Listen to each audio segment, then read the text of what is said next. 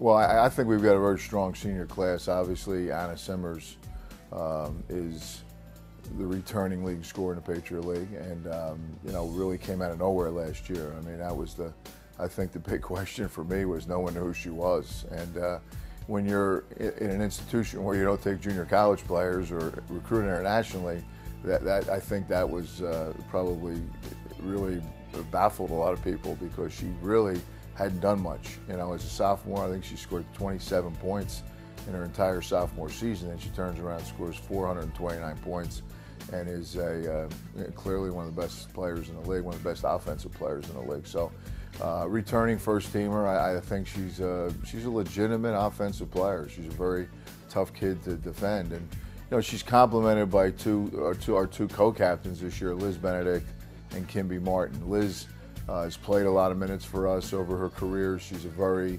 solid, cerebral guard. Uh, can play on the ball, off the ball. Very good shooter. Um, and Kimby Martin is a specialist, a, a very good open three-point shooter who hasn't played a lot of minutes, but I think is going to fight for some time this year. Finds a cutting Simmers, who's had the hot hand this afternoon. Driving, left-handed lay-in, rolls in and good. And Anna Simmers has 20 points in the first half. I think, you know, even into the summer, uh, this past summer, people still were talking about it. Like, where did she come from? And she's, you know, it's an interesting story because she, she's from Alaska. Um, she's a little different, you know, her personality's different. She's, uh, she's a young lady who I think because of just uh, her background and, and her, her basketball IQ, there were things that she struggled with early uh, in her career. And, and quite frankly, she had some injuries her freshman year that really prohibited her from playing much at all. Sophomore year, she was in and out, in and out, a little inconsistent, but uh, I always knew she had a lot of talent. It was just a matter of trying to get her on the same page with everybody.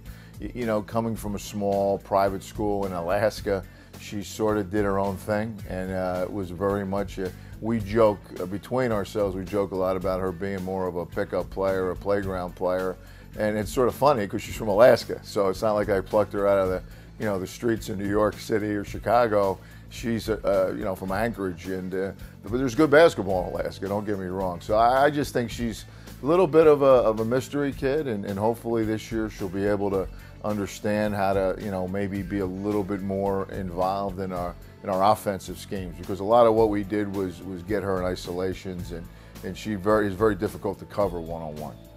Fade route to far side Smith. Tipped out of the air by Hazlett. She'll sprint the other way. Ward giving chase. Hazlett, righty laying good. Army up by four, 62 to 50. Well, Jen is, um, is right where I think she should be. Uh, she came in as a freshman, uh, very highly recruited, um, and, and, and was a player of the year in the state of Utah, was on a top 20 team ranked nationally and won a state championship. Uh, so, I mean, she's very accomplished, but really struggled making the transition from high school, not only to college, but to, to the academy, I think, in general, and just being able to handle uh, the time management skills and everything else. She's a very uh, serious young lady, very, very, very accomplished in terms of her academics, but I think the basketball, she, she's pretty much, I think, more of a perfectionist, somebody who you know, didn't didn't handle uh, disappointments or didn't handle adversity well early as a freshman and even last year as a sophomore, but just continued to grow and uh, really made a huge jump from her freshman to her sophomore year, uh, being second team all, all league and, and and she clearly is statistically. She's one of the top, you know, five in rebounding, top five in scoring, um, and, and I think really has a chance to reach that next level as a player, as a junior, and, and, hopefully as a senior. But you know, we need her to be more consistent. That's that, that's a big, big challenge for her. She needs to become, you know, more more of, of a player who's going to be consistent night in, night out. Even though her numbers look like it, if you really look at her game by game, sometimes she'll, you know, she just sort of disappears here or there. But that's that's very typical for a young player. Schretzman on the drive with the reverse and one.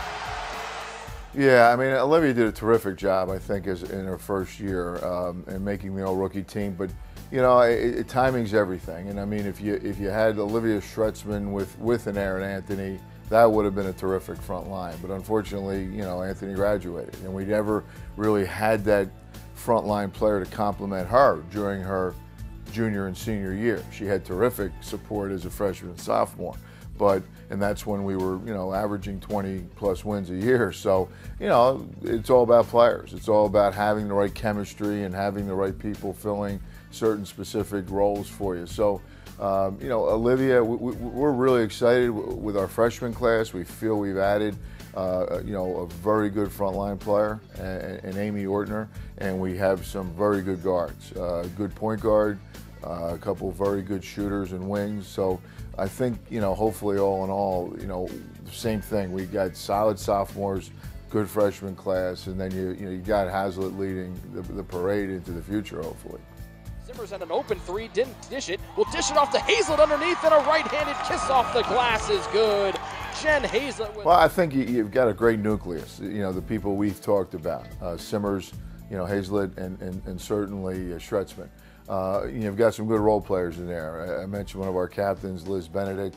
Um, you know, we've got a couple other kids uh, that I think have a chance to step up and play a bigger role for us this year. Sierra Jackson is, is a sophomore, and she she played in spots last last year, six one athletic forward.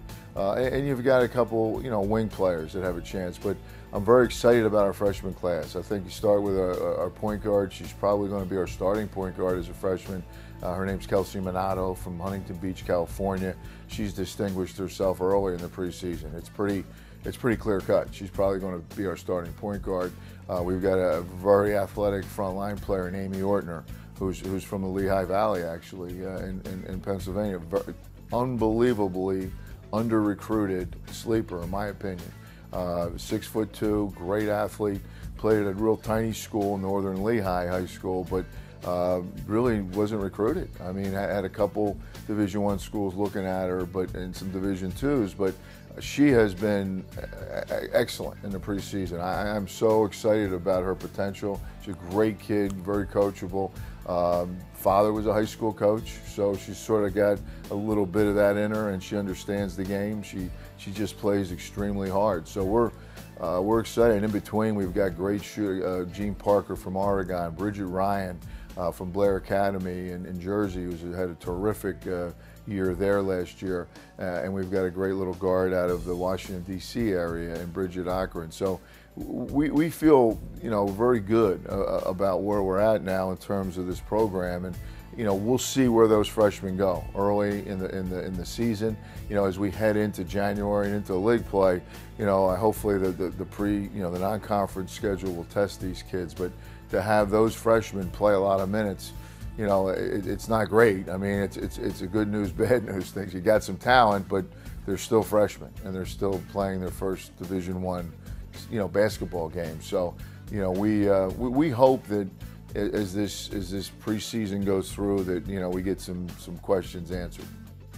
Finding Ford Simmers comes up with it. Eight seconds to go. She'll go left side. Doucette goes in right-handed lay it good. Megan Doucette has given Army the lead with 5.7 seconds left to go. This is the time of the year I love because you got, you know, you got you got all kinds of expectations, and you look at things, and you know whether you're, talking about yesterday's practice being a great one, and and the day before was a bad one because you've got, you know, we've got eight, we got eight freshmen, we've got seven kids that we recruited, and we have a very good walk on and then you've got a big sophomore class. So all in all, I mean, you know, on our roster right now, we've got 17 kids, um, and a couple of them, you know, really, other than four or five, we're talking about all freshmen and sophomores. And and you take Simmers out of that mix and, and Benedict, and and I mean, really, you've got the heart of this team coming back, and we. I think we just finished up a very good early recruiting period for, for the following year with some good size. So um, it's exciting. I mean, hey, I, have been around for a while. This is my 40th year coaching Division One basketball. My 30th year as a Division One head coach. Uh, obviously, I coached on the men's side, but uh, this is a time of the year that, that, that I really, uh, you know, I think is, is, is exciting because you're you're watching kids get a little bit better. You're challenging them every day, and you hope that they understand um, what it's going to be like once they actually step on the floor. You know, we, we have two scrimmages before we open on uh, November the 9th at Wagner College in Staten Island. And, you know, we'll be tested. You know, we'll, we'll, play University of New Hampshire, and then we'll play Villanova, and we'll see where we're at. And um, you know, I'm I'm, I'm optimistic, but I, I think everybody is at this time of the year.